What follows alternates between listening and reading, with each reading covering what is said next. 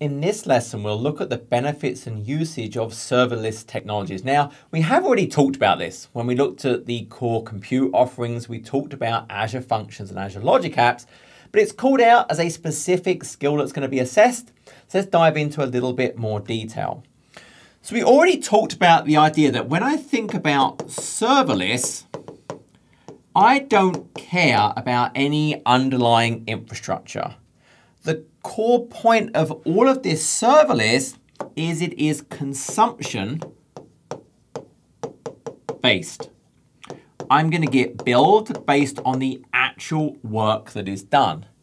And if I think about these solutions, because it only runs when there's some work that has to be done, well, they are event driven.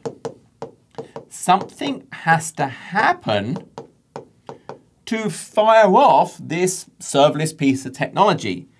Now, once again, when I think about what that could be, this could be, hey, I have some storage account and something gets written to it. It could be, I have a queue and a new message gets put on that queue. It could be something like, hey, a scheduled event. It could be, I have an endpoint. So there's some endpoint and someone is making a kind of restful call against that. But something is happening that's going to trigger these things off. Now, at that point, there are really those two different solutions when I think about those serverless offerings. I can think we have Azure Functions. Now, the key point about an Azure function, it's running some code. So I am actually writing code in one of the supported languages. Now, if we jump over for a second and actually go ahead and look, we can go back to our function apps, remember. If I create a new function app, remember we have this idea of all these different types of runtime stacks. So .NET, Node.js, Python, Java, PowerShell core, or even a custom handler can be used. So if I have, for example, some existing piece of code, and all I care about is my code, and I want to do something when an event happens, this is a great option. So the whole point here is the focus is, is I have my code and I want to run that piece of code. Now, typically when we think about Azure Functions, it's stateless. And what I mean by that is if I have multiple calls, multiple events, there's no shared kind of state in memory between those. Each time it's called, there's some thing spun up to run my code, and then it goes away. Now there is something called durable functions. And durable functions enable me to have some durable state, i.e. it's maintained, between events happening. Now that's used in a number of different scenarios. Maybe I want to fan out and call a bunch of different things, and then once they all finish, get the outputs and come back in. Maybe it's some asynchronous interaction that is long running. Maybe I'm polling for something. Maybe there's some human interaction. There's different scenarios. But it is possible to create a durable function, but for the most part, by default, they are not.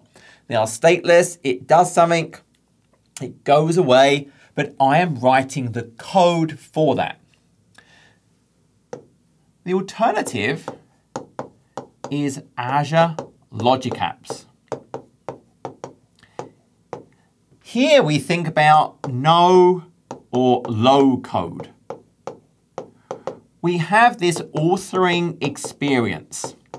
And as the name suggests, it's all about taking, there's that event, but it has a whole number of connectors.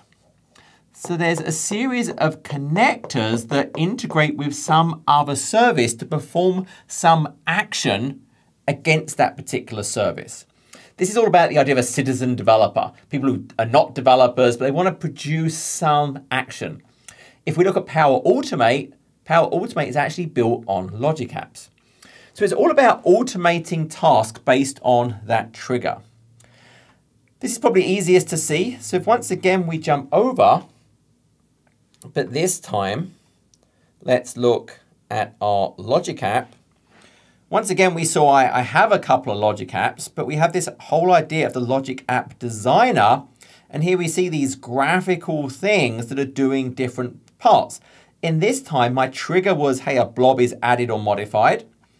I then create a shared access signature, which is something we can generate on a storage account that gives me granular access to maybe only a certain aspect with only certain permissions.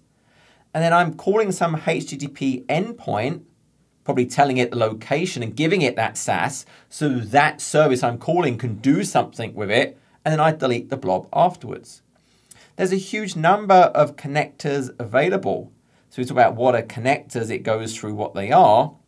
There are all these managed connectors.